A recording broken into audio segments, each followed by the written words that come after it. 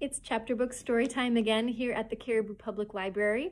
Thanks for joining us. I'm Miss Erin and we are continuing in Black Beauty by Anna Sewell and illustrated by Fritz Eichenberg. We're on chapter five and six today. So we'll get started. Chapter five is called A Fair Start. There we go. All right. The name of the coachman was John Manley. He had a wife and one little child, and they lived in the coachman's cottage, very near the stables. The next morning, he took me into the yard and gave me a good grooming. And just as I was going into my box with my coat soft and bright, the squire came in to look at me and seemed pleased. John, he said, I meant to have tried the new horse this morning, but I have other business. You may as well take him around after breakfast. Go by the common and the high wood, and back by the watermill and the river. That will show his paces. I will, sir, said John. After breakfast, he came and fitted me with a bridle. He was very particular in letting out and taking in the straps to fit my head comfortably. Then he brought a saddle, but it was not broad enough for my back. He saw it in a minute and went for another, which fitted nicely.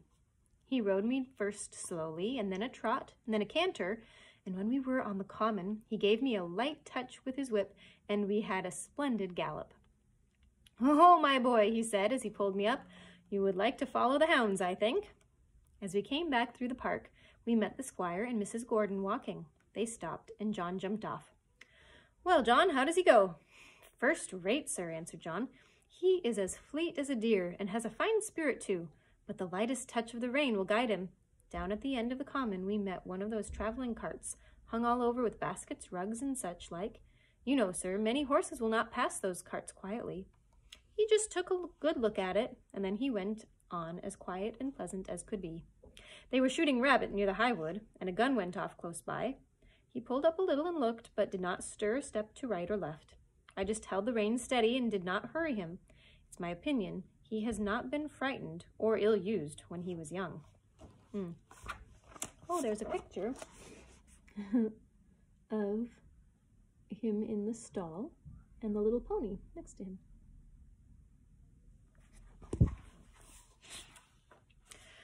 That's well, said the squire. I will try him myself tomorrow. The next day I was brought up for my master. I remembered my mother's counsel and my good old master's, and I tried to do exactly what he wanted me to do. I found he was a very good rider and thoughtful for his horse, too. When he came home, the lady was at the hall door as he rode up. Well, my dear, she said, how do you like him? He is exactly what John said, he replied, a pleasanter creature I never wished to mount. What shall we call him? Would you like Ebony? said she. He's as black as ebony. No, not ebony. Will you call him Blackbird, like your uncle's old horse? No, he's far handsomer than old Blackbird ever was. Yes, she said, he is really quite a beauty, and he has such a sweet, good-tempered face, and such a fine, intelligent eye. What do you say that we call him Black Beauty? Black Beauty, why, yes, I think that is a very good name. If you like, it shall be his name. And so it was. When John went into the stable, he told James that master and mistress had chosen a good, sensible English name for me that meant something, not like Marengo or Pegasus or Ab Abdallah.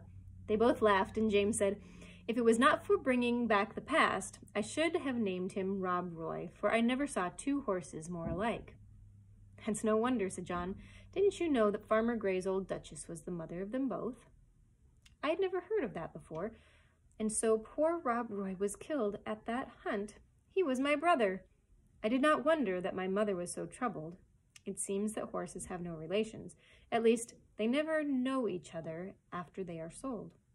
John seemed very proud of me. He used to make my mane and tail almost as smooth as a lady's hair, and he would talk to me a great deal. Of course, I did not understand all he said, but I learned more and more to know what he meant and what he wanted me to do. I grew very fond of him. He was so gentle and kind. He seemed to know just how a horse feels, and when he cleaned me, he knew the tender places and the ticklish places, and when he brushed my head, he was as care he went as carefully over my eyes as if they were his own, and never stirred up any ill temper. James Howard, the stable boy, was just as gentle and pleasant in his way, so I thought myself well off. There was another man who helped in the yard, but he had very little to do with Ginger and me. A few days after this, I had to go out with Ginger in the carriage. I wondered how we should get on together, but except laying her ears back when I was led up to her, she behaved very well. She did her work honestly and did her full share. I never wished to have a better partner in double harness. When we came to a hill, instead of slackening her pace, she would throw her weight right into the collar and pull away straight up. We both had the same sort of courage at our work, and John had oftener had oftener to hold us in than to urge us forward. He never had to use the whip on either one of us, and then our paces were much the same. And I found that it was very easy to keep step with her when trotting, which made it pleasant, and my master always liked it when we kept step well, and so did John. After we had been out two or three times together, we grew quite friendly and sociable, which made me feel very much at home. As for Merrylegs, he and I soon became great friends. He was such a cheerful, plucky, good-tempered little fellow that he was a favorite with everyone, and especially with Miss Jessie and Flora, who used to ride him about in the orchard and have fine games with him and their little dog Frisky. Our master had two other horses that stood in another stable. One was Justice, a roan cob used for riding or for the luggage cart. The other was an old brown hunter named Sir Oliver. He was past work now, but he was a great favorite with the master, who gave him the run of the park. He sometimes did a little light carting on the estate or carried one of the young ladies when they rode out with their father, for he was very gentle and could be trusted with a child as well as Merrylegs. The cob was the cob was strong, well-made, good-tempered horse, and we could sometimes have a little chat in the paddock. But of course, I could not be so intimate with him as with Ginger, who stood in the, sta in the same stable. Chapter 6 is called Liberty. Here is the picture. Liberty. I was quite happy in my new place, and if there was one thing that I missed, it must not be thought that I was discontented. All who had to do with me were good, and I had a light, airy stable and the best of food. What more could I want? Why, liberty. For three years and a half of my life, I had had all the liberty I could wish for, but now, week after week, month after month, I had no doubt, year after year, I must stand up in a stable night and day, except when I'm wanted. Then I must be just as steady and quiet as any old horse who has worked twenty years. Straps here and straps there, a bit in my mouth, and blinkers over my eyes. Now, I'm not complaining, for I know it must be so. I only mean to say that for a young horse full of strength and spirit who has been used to some large field or plain, where he can fling up his head and toss up his tail and gallop away at full speed, then round and back again with a snort to his companions. I say, it is hard never to have a bit, never to have a bit more liberty to do as you like.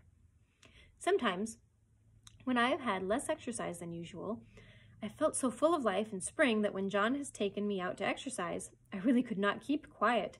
Do what I would, it seemed as if I must jump or dance or prance, and many a good shake, I know, must have given him, especially at first. Oh, I must have given him, but he was always good and patient. Steady, steady, my boy, he would say. Wait a bit and we'll have a good swing. Soon get the tickle out of your feet. Then as soon as we were out of the village, he would give me a few miles at a spanking trot, and then bring me back as fresh as before, only clear of the fidgets, as he called them.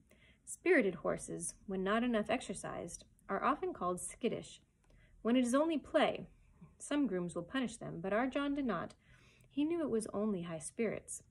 Still, he had his own ways of making me understand by the tone of his voice or the touch of the rein. If he was very serious and quite determined, I always knew it by his voice, and that had more power with me than anything else, for I was very fond of him. I ought to say that sometimes we had our liberty for a few hours. This used to be fine. This used to be on fine Sundays in the summertime. The carriage never went out on Sundays because the church was not far off. It was a great treat to us to be turned out into the home paddock or the old orchard. The grass was so cool and soft on our feet, the air so sweet, and the freedom to do as we liked was so pleasant. To gallop, to lie down, to roll over on our backs, or to nibble the sweet grass. Then it was a very good time for talking as we stood together under the shade of the large chestnut tree. Well, that's the end of our chapters for today. That last little bit made me think of the picture there at the beginning of the chapter.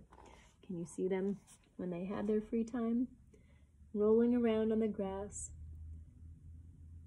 enjoying their time together. Well, thanks again for joining us, and we will see you next time.